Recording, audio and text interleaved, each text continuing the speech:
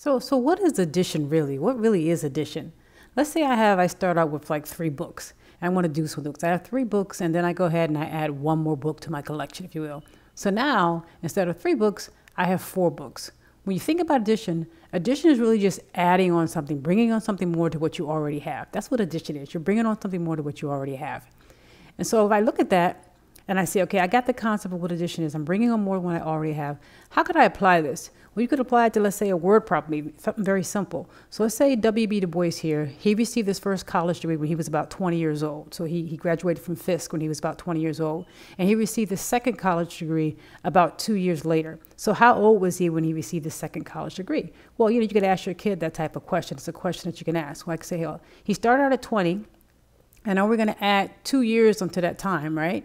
So, you know, he started at 20 at two years. Well, he's going to be equal to 22 years old when he got his second college degree. So, so addition, whether you're talking about years or hats or cakes, or whatever it may be, you're just adding on something to what you already have. And that's a great way to try to explain it to your kid.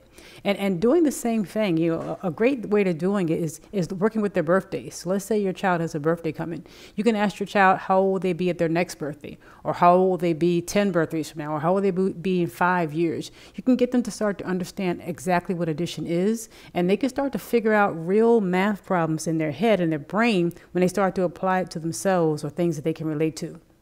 So as I mentioned, you could do this with a lot of things. It's to work with you know, hats or books or, or food or, or shoes or, or, animals. If you want to go ahead and ask your child, how many much more do we have based on what we already started with? How much more do we have? So really you can apply it about anything you want. If you start to work with your child with everyday household items, you can really get them to understand what exactly addition is. And that's so important because you want to make sure your child understands what addition is before you move on to doing complicated problems. It really helps them understand it overall.